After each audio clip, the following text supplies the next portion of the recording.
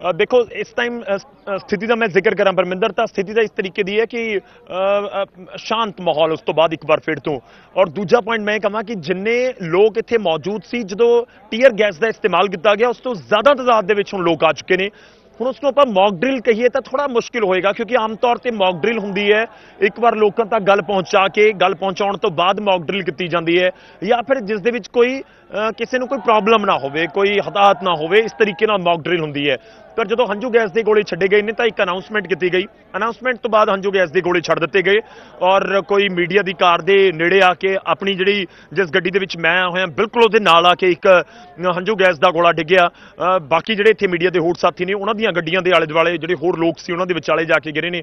ਜਦੋਂ ਭੱਜ ਰਹੇ ਸੀ ਲੋਕ, ਤਾਂ ਕਈਆਂ ਦੀ ਅੱਖਾਂ ਦੇ ਵਿੱਚ ਜਲਣ, ਦਿਖਣਾ ਬੰਦ ਹੋ ਜਾਂਦਾ ਤੁਹਾਨੂੰ ਪੂਰੇ ਫੇਸ ਦੇ ਉੱਤੇ ਜਲਣ, ਤਾਂ ਇਸ ਕਰਕੇ ਮੈਂ ਮੌਕ ਡਰਿਲ ਸਿੱਧੇ ਤੌਰ ਦੇ ਉੱਤੇ ਉਸ ਨੂੰ ਨਹੀਂ ਕਹਾਂਗਾ ਪਰ ਹਾਂ ਸਥਿਤੀ ਉਸ ਤਰੀਕੇ ਦੀ ਜ਼ਰੂਰ ਹੁੰਦੀ ਹੈ ਕਿ ਤੁਸੀਂ ਹਰਿਆਣਾ ਪੁਲਿਸ ਦੀ ਇਸ ਨੂੰ ਪ੍ਰੈਕਟਿਸ ਦੇ ਤੌਰ ਦੇ ਉੱਤੇ ਕਹੋ।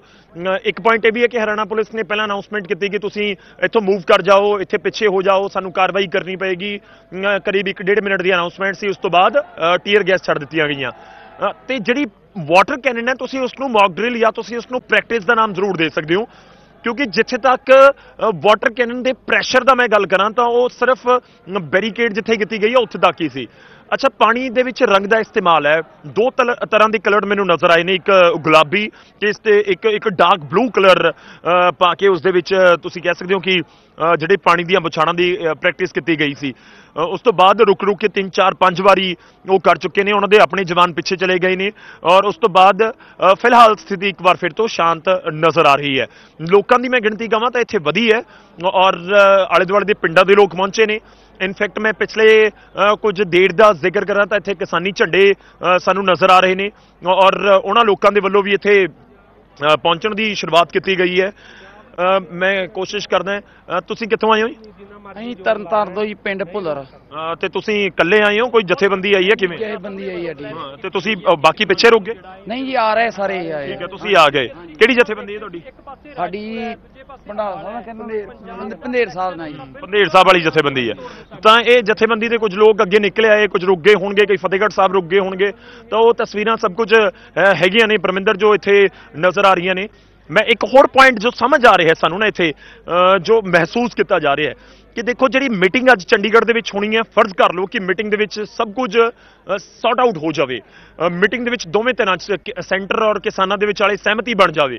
ਤਾਂ ਕਿ ਇਹ ਕਿਸਾਨ ਇੱਥੋਂ ਵਾਪਸ ਮੁੜ ਜਾਣਗੇ, ਜਿਹੜੇ ਫਤਿਹਗੜ੍ਹ ਸਾਹਿਬ ਪਹੁੰਚ ਗਏ, ਜਾਂ ਜਿਹੜੇ ਦਿੱਲੀ ਵਾਲੇ ਪਾਸੇ ਕੂਚ ਕਰਨ ਦੇ ਲਈ ਆਏ ਹੋਏ ਨੇ?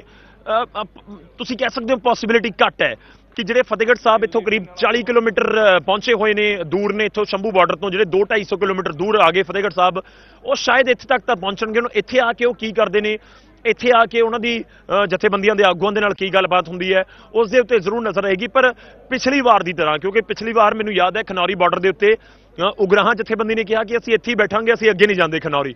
ਪਰ ਜਿਹੜੇ ਉਹਨਾਂ ਦੇ ਸਮਰਥਕ ਸੀ ਉਹ ਇੰਨੇ ਜ਼ਿਆਦਾ ਅਗਰੈਸਿਵ ਮੋਡ ਦੇ ਵਿੱਚ ਸੀ ਕਿ ਉਹ ਉਹ ਜਿਹੜੇ ਉਹਨਾਂ ਦੇ ਲੀਡਰ ਨੇ ਉਗਰਾਹਾਂ ਜਥੇਬੰਦੀ ਦੇ, ਉਹਨਾਂ ਨੂੰ ਡਿਸਾਈਡ ਕਰਨਾ ਪਿਆ ਕਿ ਠੀਕ ਆ, ਅਸੀਂ ਵੀ ਦਿੱਲੀ ਵਾਲੇ ਪਾਸੇ ਕੂਚ ਕਰਦੇ ਹਾਂ ਕਿ ਅਸੀਂ ਇੱਥੇ ਨਹੀਂ ਬੈਠੇ ਰਹਾਂਗੇ। ਤਾਂ ਹੁਣ ਕਿਵੇਂ ਸਥਿਤੀ ਹੁੰਦੀ ਹੈ? ਉਹ ਆਪਾਂ ਨੂੰ ਦੇਖਣ ਵਾਲੀ ਗੱਲ ਰਹੇਗੀ। ਫਿਲਹਾਲ ਸ਼ੰਭੂ ਬਾਰਡਰ ਦੇ ਉੱਤੇ ਹਲਚਲ ਲੋਕਾਂ ਦੀ ਹੈ, ਪਰ ਦੂਜੇ ਪਾਸੇ ਹਰਿਆਣਾ ਪ੍ਰਸ਼ਾਸਨ ਤਿਆਰੀ ਕਰਕੇ ਇਸ ਸਮੇਂ ਇਤਮਾਨ ਨਾਲ ਬੈਠਾ ਹੈ ਆਬਜ਼ਰਵ ਕਰ ਰਿਹਾ ਹੈ। ਥੋੜੀ ਥੋੜੀ ਦੇਰ ਬਾਅਦ ਅਨਾਉਂਸਮੈਂਟ ਕਰ ਦਿੱਤੀ ਜਾਂਦੀ ਹੈ ਕਿ ਦੂਰ ਹਟ ਜਾਈਏ, ਪਿੱਛੇ ਹੋ ਜਾਈਏ। ਮੈਂ ਫਿਰ ਸਥਿਤੀ ਘੁੰਮ ਫਿਰ ਕੇ ਉੱਥੇ ਆ ਜਾਂਦੀ ਹੈ।